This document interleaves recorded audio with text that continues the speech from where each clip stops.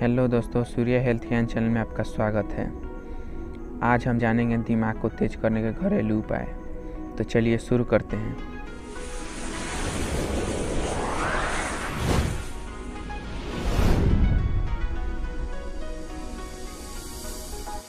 Number one, दही।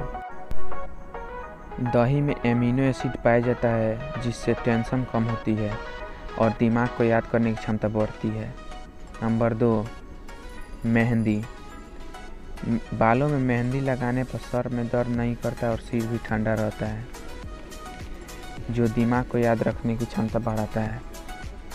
अगर आपको वीडियो अच्छा लग रहा है तो प्लीज़ लाइक, शेयर, सब्सक्राइब करें हमारे चैनल सूर्य हेल्थ ज्ञान को। क्योंकि आपकी सपोर्ट की बहुत ज़रूरत है मुझे, प्लीज़। नंबर तीन सेब सेब में क्यूरसेटिन नामक एंटीऑक्सीडेंट होता है जो हमारे दिमाग को तेज करने में मदद करता है। नंबर चार, दालचीनी। मानसिक तनाव को दूर करके दिमाग तेज करने के लिए रात को सोने से पहले शहद में थोड़ी सी दालचीनी पाउडर मिलाकर खाएँ। नंबर पाँच, तुलसी।